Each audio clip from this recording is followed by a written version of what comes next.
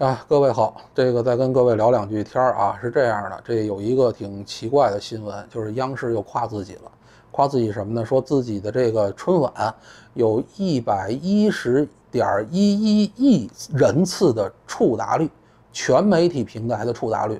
当然，很多人就觉得说说你这个瞎他妈扯吧，是中国是中国只有十四亿人，这这还不一定能能能有这么多。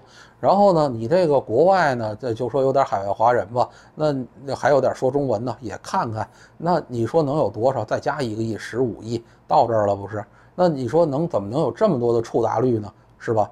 但是啊，实际上很多人没看这条新闻，什么意思呢？就是说呢，确实是春晚啊能有这么大的触达率，有可能有啊啊呃，他这个公司呢，可能是我不知道这个数据是不是从那个央视索福瑞调出来的，因为央视索福瑞是它好像是一个央视原来的一个收视率调查的一个机构，那东西是他那个调查报告是卖钱的，那卖给谁呢？卖给厂商。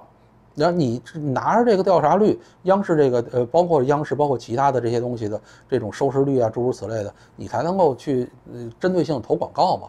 当然，这里边央视索福瑞的基本这个数据呢，在业界也比也基本是一个笑话，这个大家都知道就可以了。然后呢，这些玩意儿就是说，他呃说这有这么多人呢，他不是说呀，就是每个人都正儿八经去看春晚，您理解这事儿吧？这大致相当于您比如说我吧。我这有三，他就对我而言，我就算三个触达率人次，三个人次。为什么呢？第一个人次，我从一虽然我正规的春晚一眼没看，但是呢，他那个开花种花家那个事儿，对吧？他抄袭，然后呢，我有人做了视频了，把两个呃，把这个抄袭的跟这原版的他拼在一起，那我就去看了一遍。对不对？OK，好哦，它确实是抄了，这是基基础旋律是相似的，就别给我扯万能和弦了，老子都知道那玩意儿，好吧？然后呢，那这些玩意儿都已经是这个，呃，这这个是不是一一次触达率啊？那触达我一次啊，哎，然后第二次那个呃又一个什么小怪兽什么的，当怪兽遇到怪兽吧，那歌又又是抄袭，好像是抄那是抄谁的来着？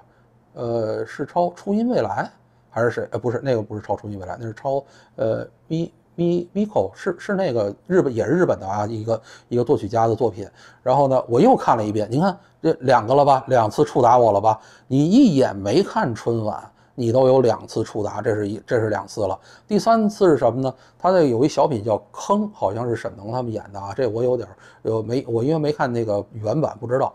然后呢，他另外一个部委写一篇文章，说呢躺平式干部如何如何这不可取啊什么的这种玩意儿，他等于是一个二次创作嘛。OK，好，那我又看了那篇文章了。您看到没？这个第三次了，第三次触达我了。央视的这个触全媒体平台的触达率就就这么来的。他有三次触达我，我一眼没正经看春晚，没打开过央视，对吧？我都好几年没看过央视了。那就这玩意儿，那三次，那您觉觉得这个是不是这一百一十点一一亿次？我操，这这他妈真烦人！这个这个是这个次数应该是差不多，有可能的，至少它是有可能的，对吧？哎，我觉得大概是这么一来的。而且呢，各个全世界媒体啊，呃，不都给你播放一下。哎呦，这个这个傻逼央视又办一春晚啊！然后呢，呃，这这个这个又是又是一堂会呀。然后呢，呃，真正的该说的没说呀。你比如说 BBC 来这么一评论，出了央视春晚几个镜头，BBC 有多少多少那个多少那个什么呃传达率传达量啊，订阅订呃叫什么收收视率啊，对吧？他也给算进来了。那您想想看，这这难道这一百多亿次不应该吗？他应该呀，他肯定是应该的呀。所以这些事儿呢。呃，就咱就不讨论它了，就是说它这数字到底有多少水分？有水分，但是呢也没有它特别大。但是至于说是不是达到它那传播效果了，那咱就不好说了，对吧？哎，这个就不好说了。那但是呢，今儿想跟大家聊呢，就是聊我这个第三次被它传达到的，呃，触及到的这个事儿，就是关于躺平式干部这件事儿。这个事情啊，其实还挺好玩的。为什么呢？是因为啊，我们这几年啊，确实有发现呢，这个在国内啊。干事儿不太好干了，尤其是在官方这个这个层面上，它不叫躺平，它实际上呢，它也不是不干事儿，它是按照原来的既有的规章制度完全的呃执行，完全的僵化的去执行。像原来啊，它其实是一个怎么说呢？是一个多少是有一个灵活性的，这个灵活性好还是不好呢？不好说。因为呢有好的一面，因为中国的改革开放呢是一个不断是呃创新制度，然后在在其实它是在那个超越于原本的制度和法律之前，然后社会呢就已经开始运转了，它才能后来这些制度建建设才能跟上。因为原来是一个非常僵化体系，您比如说，甭管是那个开馆子、做生意，或者诸如此这些玩意儿吧，它呢都是先是民间先破冰，破冰完了之后，然后呢法律法规后续的进行追认，这是一种。那中国的社会在这几十年里，为什么就尤其是咱圣上上台之前这几十年里，为什么具备极强的活力？就是在这个是官方其实是默认这件事情的。您理解这事儿吧？就是呢，它好呢，好处是在于呢，这个很多的这种禁区啊，就是这样被突破掉的。您比如说，就咱从最开始的这个小小岗村这个血手印开始，那这种进后来追认的，当时他们觉得说，我操，我他妈这得被枪毙了，但是不这么干不行。那我甭管这个东西好使不好使吧，OK，我先弄上。后来呢，进行了某种程度的追认，你可以了。其实好多地方都这样，你看当年那个傻子瓜子儿也是这样的，呃，这个什么企业家入党啊，诸如此类的这些玩意儿，它都是在突破原本的这个条条框框的时候，这是它好的一方面，它的这个更更开阔了。改革的至少呢，你从制度层面上是有一点点的微调的，这个这个这个东西这个框量啊，是一个合适的一个东西，至少在那个时候是觉得合适的，对吧？那。不好的地方大家也都知道，就是说，OK，那就是一个权钱交易，这个东西呢，它一旦说是这个，呃，你想突破原有框架，然后它必然会产生这种权钱之间的这种交易，然后呢，形成这种呃腐败，的贪污腐败。可是呢，就是这这个你要还得是听胡锡进老师。为什么我说胡锡进老师有的时候对于中国社会他有他自己的观察呢？就是他说这个腐败是适度腐败是润滑剂。他其实他说的这句话基本上就是从这一点上来的。如果说没有这种他们为了这个适度的腐败自己的一些小利益，那很多我们现在所能够看到的这些领域，你是没有办法突破的。就是至少在经济上你是没有办法突破的。这个是一个很，这个是一个呃，应该说一个很怎么说呢？是一个很很要命的一个课题，对吧？没有太多人敢去触及它。那胡锡进老师当时就说这个，当然他也被骂得特别惨。可是呢，真正你了解中国，你就会发现这个东西是有利有弊的事情。当然，他说的是叫适度腐败。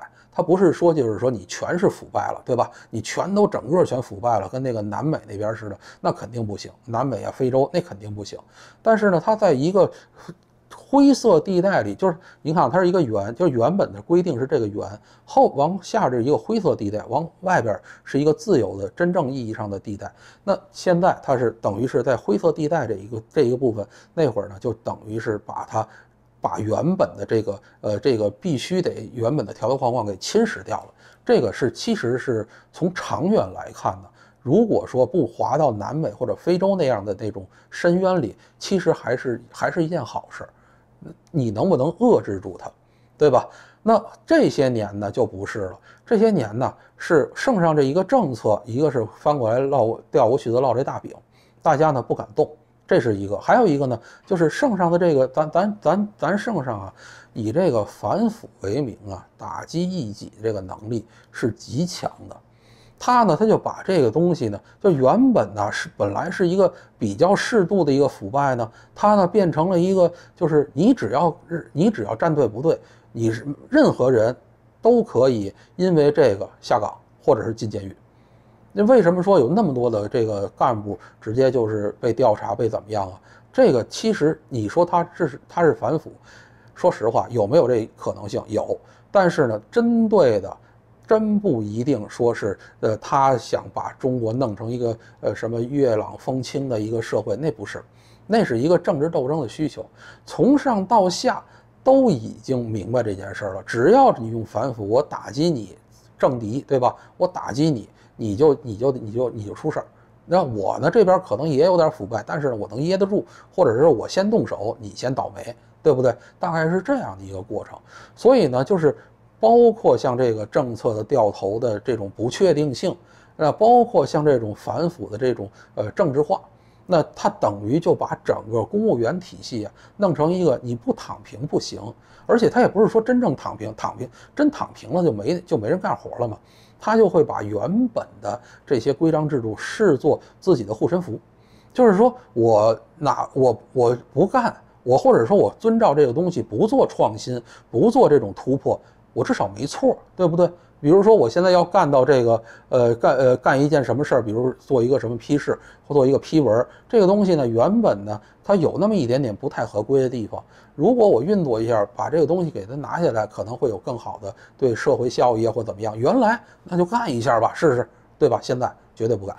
那所以呢，那个东西你说叫躺平吗？它也不叫。他你说他要是坚守他的原则吗？那也不是。他只是被威慑的一种行为。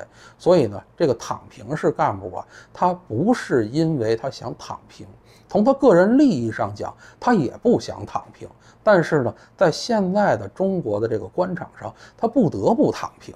你不躺平的话，很有可能就得你自己擦，就领导拉完了，你得给他擦屁股。对吧？那然后呢？你自己你自己听着领导这个，听着这听着领导把这个事儿办完以后呢，你还得领导一转弯，你你还得给自己再擦一遍。你说这多恶心呢？这事儿是不是道理？所以大概是这是这样的。你这块如果不不进行这种改变，那将来就是再往下这几年里啊，中国这种躺平式的干部，就是整个的官僚系统。